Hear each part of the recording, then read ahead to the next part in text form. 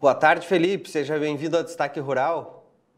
Boa tarde, Leonardo. Boa tarde a todos os ouvintes. Tudo bem por aí? Tudo certo. Felipe, então a, a expectativa neste momento é com relação às chuvas e ao clima para dar sequência à semeadura da soja aqui no Rio Grande do Sul, né? Uh, gostaria de saber, uh, para nós iniciar a nossa entrevista, qual é o fenômeno que vai predominar durante esse período e como que está se comportando o clima para os próximos meses? Então, Leonardo, a gente está numa situação de neutralidade climática. Eu vou mostrar aqui uma figura para poder explicar melhor esse período que estamos vivenciando. Você já consegue ver aí minha tela? Sim, conseguimos.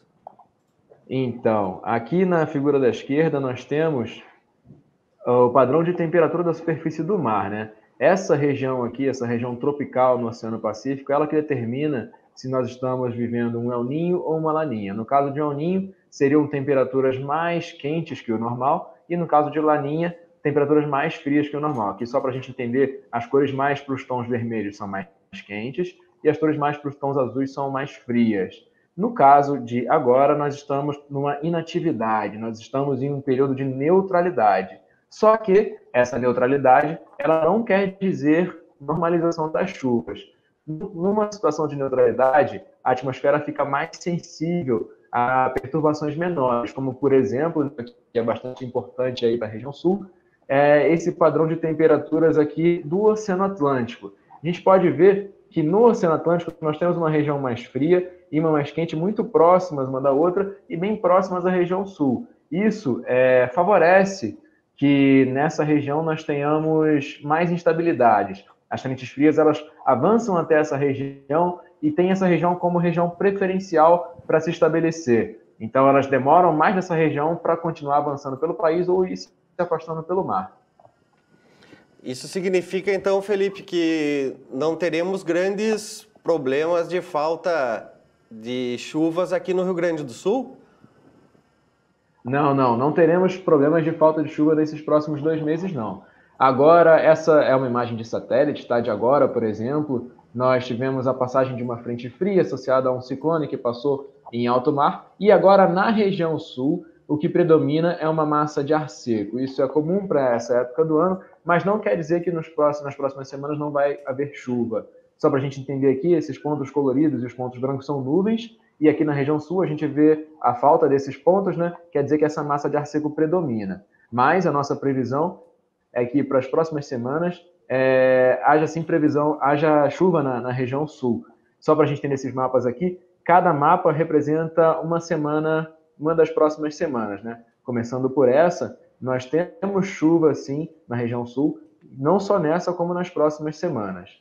É, em novembro, inclusive, há expectativa de que, de que a chuva fique acima da média em algumas regiões da região sul. Aqui, para a gente entender, o azul seria chuva acima da média, o vermelho, chuva abaixo da média. É, e a média de novembro já, já é considerável, né? E a expectativa é essa, de que tenhamos bastante chuva em novembro, e não só em novembro. Para dezembro, a situação é mais favorável ainda. Em dezembro, as instabilidades devem se concentrar na região sul do país. Então, Rio Grande do Sul, oeste do Paraná, nós temos bastante chuva prevista. Essa, esse, esse prognóstico dificilmente ele vai mudar, viu? Então, é, esse é o nosso diagnóstico para os próximos meses. Só em janeiro que a coisa muda um pouco, que a faixa mais central do país começa a receber mais chuvas acima da média, né? não, não só receber chuvas mais acima da média do que a região sul. Mas até dezembro teremos bastante chuva. O único risco que nós temos, Leonardo, é de algum evento extremo, principalmente em dezembro. Em novembro não se descarta, mas principalmente em dezembro, até por causa da previsão dessa chuva toda. Podemos ter aqueles típicos temporais dessa época do ano. Uhum. Tá certo. Com relação a janeiro e fevereiro, Felipe, uh, porque o início uh, de uma safra com bastante chuva, isso causa menos enraizamento às plantas. E uma falta de água lá em janeiro, fevereiro, uh, seria muito prejudicial. Já tem algum prognóstico para esse período?